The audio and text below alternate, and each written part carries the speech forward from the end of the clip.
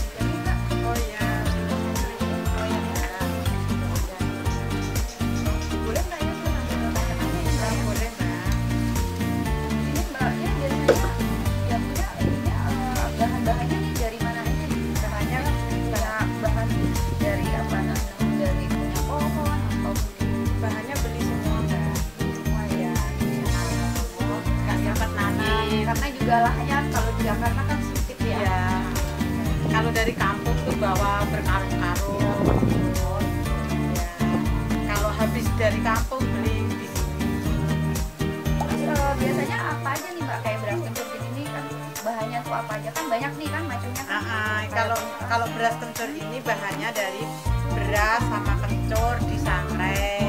Habis disangrai itu direbus, dikasih gula merah. Adas ke dawung. Adas pakai dawung. Oh, kok ada menu ngomong teh.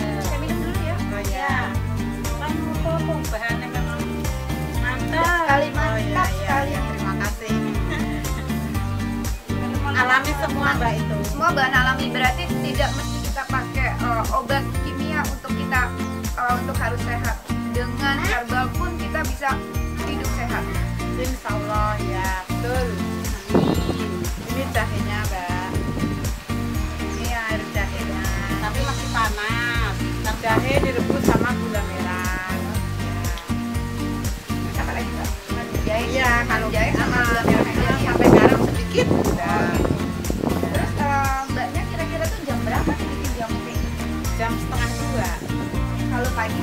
Pagi jam jam empat udah jam bangun. 4 jam 4 udah bangun Iya. Oh, bikinnya tuh di parut atau di apa nih? Di blender. Oh, di blender ya kalau sekarang udah zamannya udah canggih ya. Jadi kita nggak mesti di diparut lagi jadi tidak mesti diparut atau ditumbuk berarti di blender sekarang ya. Jadi lebih eh, apa namanya lebih efektif dan lebih praktis. Eh, nah, terus saya boleh tahu lagi biasanya mbaknya ini Masalahnya ya kadang keliling mbak, keliling pagi sore. Pagi sore. Nah, di sekitar sekitar sini aja. Ya, pakai motor nih ya mbak ya. Motor. sekarang juga eh, di zaman sekarang juga tidak mesti harus digendong ya nah tapi memang masih ada beberapa yang memang eh, masih digendong tapi di sini banyak sudah zamannya sudah modern jadi pakai motor jadi itu juga lebih praktis dan lebih eh, tidak terlalu capek ya kalau kita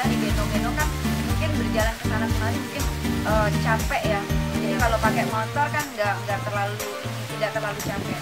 Nah ini terus saya mau tanya lagi nih mbak. Eh, apa namanya? Boleh gak nih ya ini sebenarnya masalah profesi sih ya? Iya, iya. kira-kira satu gelas itu berapa dan penghasilan sehari itu berapa? Satu gelasnya empat ribu ya. oh cukup eh, cukup ter- sangat terjangkau ya. Kalau zaman sekarang masih 4000 kita masih mendapatkan jamu yang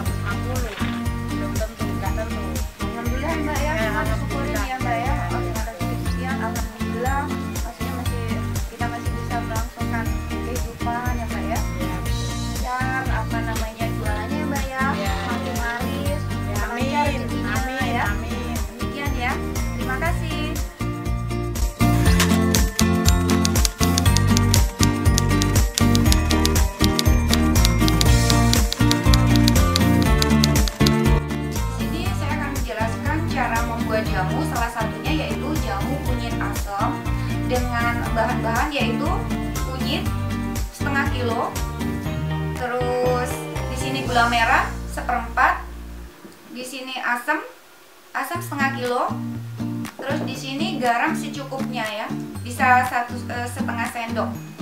Terus lantas eh, air 2 liter.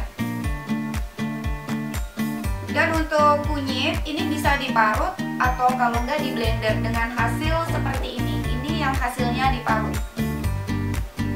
Mari kita uh, langsung ke cara pembuatan. Kita mulai memasak yaitu kita masukkan kunyit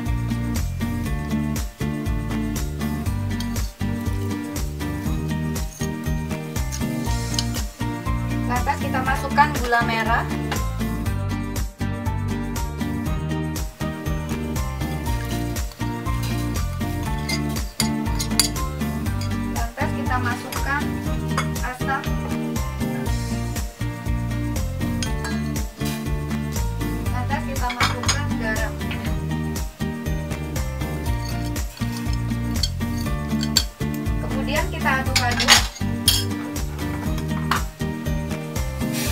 larut dan rata.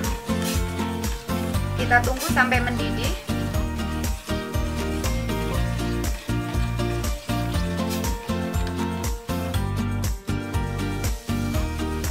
Ini sudah mendidih, berarti sudah matang.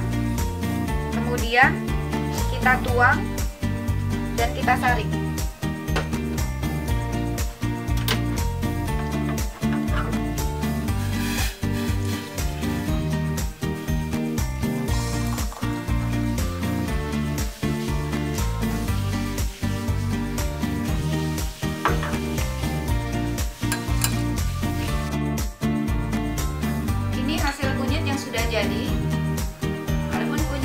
Juga uh, bermanfaat untuk mengurangi bau keringat, untuk kalau head yang sakit dan banyak lagi manfaatnya.